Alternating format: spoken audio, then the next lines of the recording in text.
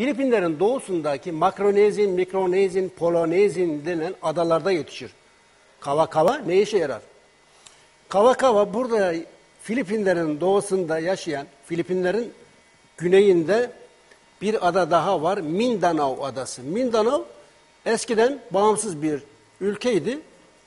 Burada yaşayanların yüzde 99'u Müslüman. Daha sonra Amerikalılar işte burayı işgal ettiler Filipinliler. Şimdi esaret altındalar. İşte bu Mindanao'luların yaşadığı bölgede, Mindanao Müslümanların olduğu bölgede kava kava diye bir bitki yetişir. Bunun kökü, bunun tohumu aynı hayıt tohumuna benzer. Şöyle tohumu var. Ee, biber biber otu diye de anılır bu nedenle. La ilahe illallah Muhammed Resulullah. Buyurun. Telefon, Hocam size geliyor ne yapayım? telefon buyurun. Alo.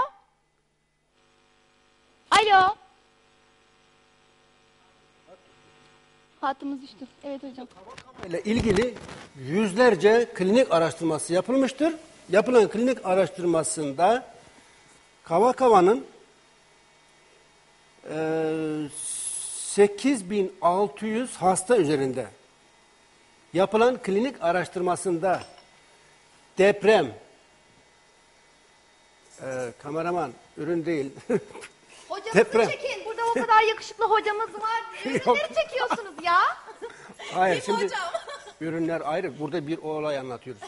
Deprem, sel, heyelan veya büyük ailevi facialar sonucu, ölümler sonucu insanlar panik oluyor ve sürekli bir atılamayan bir korku kalıyor içinde. Korku. Çok önemli bir şey, korku.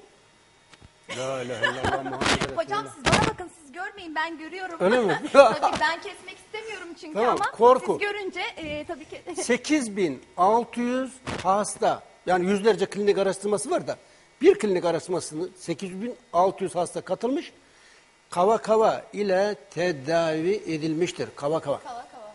Bu Makronezin, Mikronezin, Polonezin gibi adalarda yetişip ayrıca Mindanao, Filipinlerin güneyindeki burada yaşayan insanların halkın hepsi Müslüman. Buyurun.